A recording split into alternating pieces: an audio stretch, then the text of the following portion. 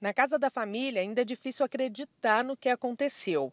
E mesmo tomados pela dor, os pais buscam forças para contribuir com o trabalho da polícia. É nessa sacolinha humilde que o pai, tão abatido, carrega os documentos pessoais da filha. O destino? O Instituto Médico Legal de Goiânia. Os pais chegaram bem cedo ao local para começar a dar entrada no processo de liberação do corpo de Luana. Um processo que ainda pode demorar um pouco por causa do estado em que foi encontrado o corpo da menina. O próprio fato de ter concretado a, a, o local onde ele acabou tentando esconder esse corpo já foi um fator bem complicador, um fator bem dificultador para todas as nossas equipes, que inclusive precisaram recorrer a apoio da nossa corporação co-irmã Corpo de Bombeiros Militar. É, a situação também da própria, da própria destruição pelas chamas também é um fator bem é, grave que dificulta muito os trabalhos, sobretudo de identificação, embora não os inviabilize.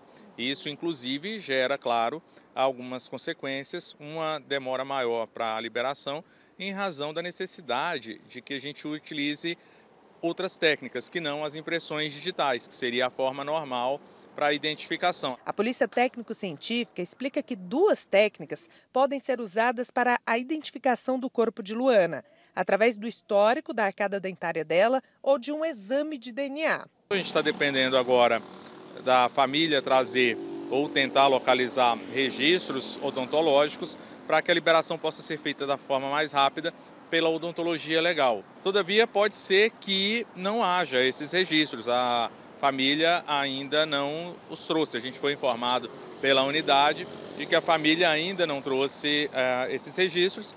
E aí, neste caso, a Polícia Científica já está, inclusive, fazendo os encaminhamentos para o exame de DNA.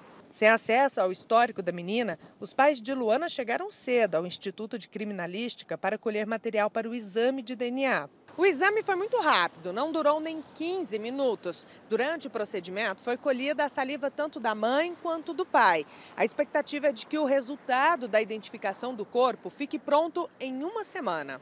Além disso, será realizado um exame para confirmar se de fato Rei de Mar abusou sexualmente de Luana antes de matá-la. A perícia criminal, eu preciso de eu estar lá examinando para poder te dar essa resposta. Por isso que a gente dá a resposta no laudo.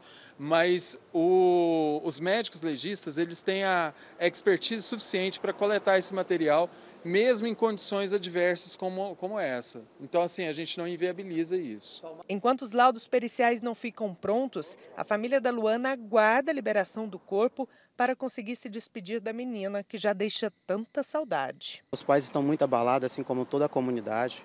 Todos nós estamos muito tristes com essa situação, todos nós estamos muito tristes com, com tudo que aconteceu. Já estamos sofrendo muito, né? Então a gente espera que seja o mais rápido possível para que a gente possa fazer essa despedida merecida para ela. Né? Ela é uma menina muito boa, muito calma, muito educada. Toda a comunidade, toda a população, a, a, os professores, a escola, por onde a igreja que ela congregava, todo mundo gostava muito dessa criança.